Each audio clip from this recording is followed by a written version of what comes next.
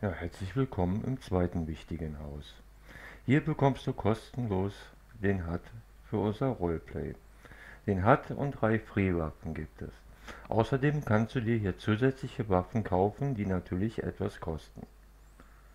Damit du dann direkt ausprobieren kannst, wie gut du schießen kannst, haben wir natürlich auch einen Schießstand, dass du nicht direkt draußen abgeballert wirst von den Monstern. Diese Kisten hier auf Erde kannst du aufsammeln. Dafür erhältst du dann einfach Munition. Des Weiteren, was du unbedingt brauchst, ist der Fallenhut. Diesen gibt es natürlich auch kostenlos. Also einfach draufklicken, anziehen, auf Teilnehmen klicken und später dann bei der Bank ein Konto eröffnen.